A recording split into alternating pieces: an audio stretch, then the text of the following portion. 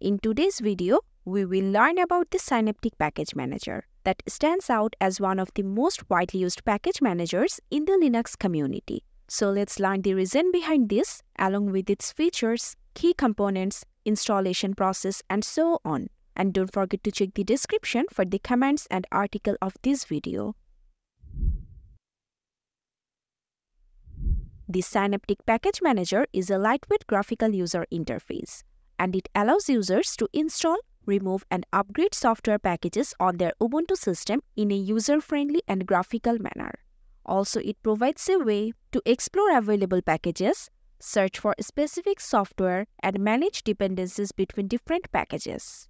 If you start with Synaptic, you will see a window, and the window components are menu bar, toolbar, status bar, category sector, and the package list. Now let's have a look at its key components. Usage. It serves a graphical frontend for APT utilized in Debian and Debian-based Linux distributions. File extension.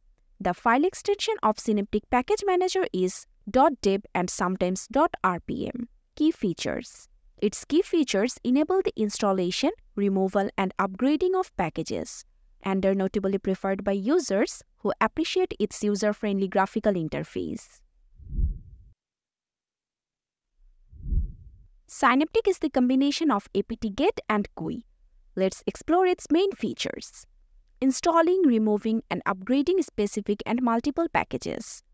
Providing force installation of a specific package. Performing smart upgrades. Locking a specific version of the package. Showing all the online packages while searching. Fixing the broken dependencies of a package. Searching for a package. Showing the information of a package managing the repositories, downloading the changelog, and showing the list of all packages by section, status, and custom filters. Now I will provide examples for each feature to facilitate a proper understanding of using the package manager.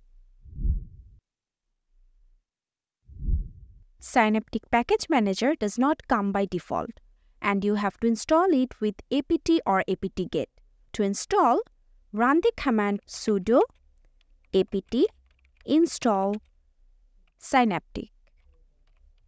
Hit enter providing my password. Pressing Y to continue and the package manager is installed. Now I will demonstrate Synaptic's ability to easily install packages, a common function of package managers. At first, to launch the Synaptic Manager, run the command sudo synaptic. Hit enter and the package manager is launched. Now to install a package with Synaptic, click on the search and the search dialog box has been appeared. Type the package name. I am typing ZFS and now click on search. You can see it shows all the packages related to the ZFS package. So now choose a package, do right click and select the mark for installation. These are the additional packages that is also known as dependencies. So now click on mark again and then apply. Again apply and the process has begun. So now click on close and the ZFS package has been added to your system. If you need to install a specific package version on the installed higher version of the package, then search for the package first Select this package. Now click on package. Then here you can see force version. Click on this. Now click on the drop down arrow and here you will see the available versions. Select as your preference. After that click on the force version and it's done. And then you have to follow the previous steps for installation. Right click, mark for installation, then click on apply and again apply. Now click on close and it's done. Sometimes you may not see the force version option for a specific package. For example, if I search for TeamViewer, click on this and here you can see the force version option is not available. It is because it has only one version. That means when a package has only one version, then the force version will not be available. You can use the remove option to uninstall or remove unnecessary packages. First, choose a package, then do right click and select the Mark for Removal option. Now click on Apply. Again click on Apply and it's done. The curl has been removed from your system. If you want to delete a package with its configuration files, you can use the Mark for Complete Removal option. For that, you have to select a package, then do right click and select the Mark for Complete Removal.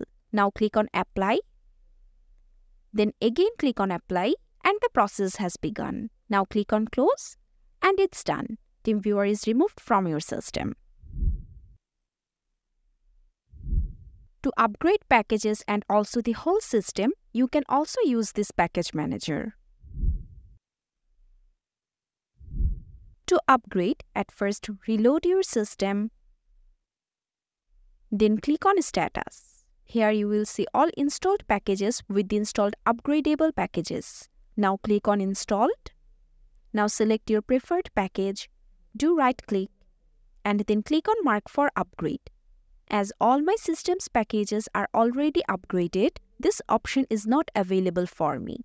But in your case, it might be available if the package is not upgraded. After selecting the mark for upgrade, you have to click on apply and after that follow the steps as shown before. Thus your package will be upgraded.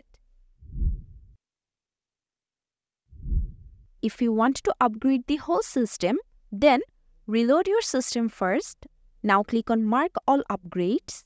As my system is upgraded already, no packages has been marked. But in your system, it will mark all upgradable packages and after that you have to click on apply and then follow the same steps as shown before. To lock a version of a package, at first select the package, then click on package. Here you can see the lock version option. Click on this and thus the version for this package has been locked. If you lock the version, it will not upgrade the package when you upgrade the whole system. To get the information of a specific package, again select a package, then do right click and click on properties. And you can see a dialog box that contains all information about this package. And in the information panel, you can choose any other option to see the dependencies and the installed files. You can also locate or search for a package using this manager. First, click on search and type the package name and hit enter and here you can see all the packages related to Nano. And if you want to use the filter option, then you can search for filters.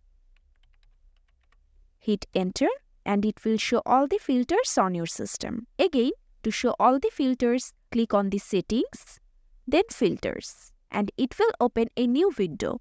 From the window, you can see the current, marked and other filters. One can easily add or delete filters by pressing the New or Delete button. If there are any broken dependencies, then you can fix the package. For that, you have to click on Custom Filters, then click on Broken. This will open all the broken dependencies. And if you have no broken dependencies, then the list will be blank like mine. And if there are any broken dependencies, then you have to select that, do right click and then select the mark for reinstallation. For example, suppose this is the broken package for my system. So I have selected this. Now doing right click and here you can see the mark for reinstallation option. You have to click on this, then click on apply and then do the same like before. And by doing all this, you can be able to fix the broken dependencies issue. If you want to list all the packages Click on the status button and then you can see the list of all packages, installed packages, upgradable packages and the packages that are not installed. So by clicking on the each option on the left side, you can see the list of the packages. Repository management is very easy with this package manager. It includes adding repository to the list, enabling and disabling the repository. To add the repository, first click on the settings and then repositories. Now click on other software, then click on add and here you have to provide the repository link. Now click on add source. Now click on close and reload. And it's done. To verify again click on settings, then repositories. Now clicking on other software. And you can see the FlatRemix repository has been added to the system. To enable a repository, click on the settings, then repositories. Now go to the other software and check the box of that repositories you want to enable. Now click on close and reload. And thus the repository will be enabled. To disable any repository, again click on settings, then go to repositories. Now click on other software and uncheck the repository box. Now click on close and then reload again. The system is reloaded. Let's check. Again clicking on settings, then repositories. Now click on other software and look the FlatRemix repository is unchecked. That means this repository is disabled. So now clicking on close. To download the changelog, select a package, then click on package option. Here you can see the download changelog option. Click on this and thus you can see the complete changelog of the latest version. To remove or uninstall the Synaptic Package Manager when you don't need it, run in the terminal sudo apt remove synaptic and hit enter. Y to continue and the package manager has been removed. So this concludes our easy guide on Synaptic Package Manager in Linux. Explore the simplicity of repository control, effortlessly retrieve package details, and stay tuned for more tips to enhance your Linux journey. Goodbye.